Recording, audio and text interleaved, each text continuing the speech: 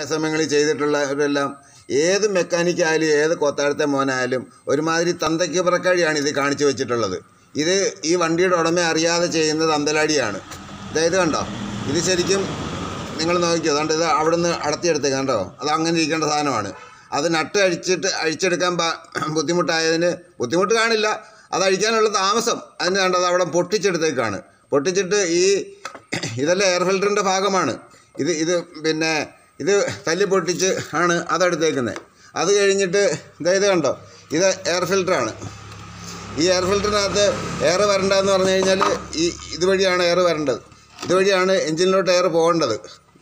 ഇതുവഴിയാണ് air വരേണ്ടത്. ഇതുവഴി വരുന്ന എയർ ഇവിടെ ഫിൽറ്ററായി വേണം ഇതുവഴി പോകാൻ അതിന് ഇത് പിന്നെ വൃത്തിയാക്കുന്നതിന് പകരം അഥവാ ഈ എയർ ഫിൽറ്റർ എന്ന് പറയുന്ന ഈ സാധനം ഒന്ന് വൃത്തിയാക്കുന്നതിന് പകരം ഇത് ചെയ്തേക്കുന്നുണ്ടോ? അതിന്റെ അടിഭാഗം പൊട്ടിച്ച് വിട്ടിരിക്കുകയാണ്. അതിനാണ് ഒറിജിനൽ തന്തയ്ക്ക് തന്തയ്ക്ക് പറക്കാടി എന്ന് പറയുന്നത്. അത് അതങ്ങനെ പൊട്ടിച്ച് വിട്ടേക്കാണ്. കണ്ടോ? ഈ പൊട്ടിച്ച് വിട്ടേക്കുമ്പോൾ ഒരു വ്യത്യാസം എന്ന് പറഞ്ഞു കഴിഞ്ഞാൽ റോഡിൽ നിന്നുള്ള മണ്ണും പൊടിയും ചെളിയും എല്ലാം കൂടാണ് ഇതുവഴി അടിച്ച് നേരെ ഇതുവഴി കടന്ന് ഈ ഈ ഭാഗത്തൂടെ കടന്ന് ഇത് എഞ്ചിനകത്ത് പോകുന്നത്. ഇങ്ങനെയാണോ ഈ പണിയൊക്കെ ചെയ്യുന്നത്? അതുകൊണ്ടാണ് ശരിക്കും നമ്മുടെ നാട്ടിലെ ടൂ വീലറുകൾക്ക് ഗ്യാരണ്ടി ഇല്ലാതെ പോകുന്നത്. നമ്മുടെ നാട്ടിലെന്നല്ല എല്ലാ മെക്കാനിക്കുകളും അങ്ങനെയാണ് ചെയ്യുന്നത്. കണ്ടോ?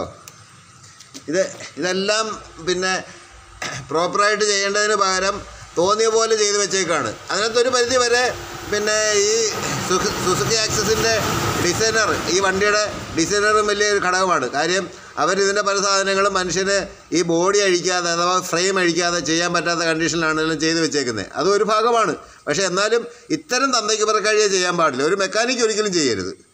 നിന്നെ വിശ്വസിച്ചാണ് നിന്റെയൊക്കെ അടുത്ത് വണ്ടി ഓരോരുത്തർ കൊണ്ട് തരുന്നത്. കൊണ്ട് തന്നു കഴിഞ്ഞിട്ട് ഇങ്ങനെയൊക്കെയാണോ അവരാധിച്ച് വെക്കുന്നത്? നാണം വേണം. വല്ലവന്റെ തീട്ടം വാങ്ങിച്ച് തിന്നാൽ മാത്രം പോരാ. അത് ചെയ്യേണ്ട രീതിയിൽ കൂടെ ചെയ്യാനൂടെ പഠിക്കണം.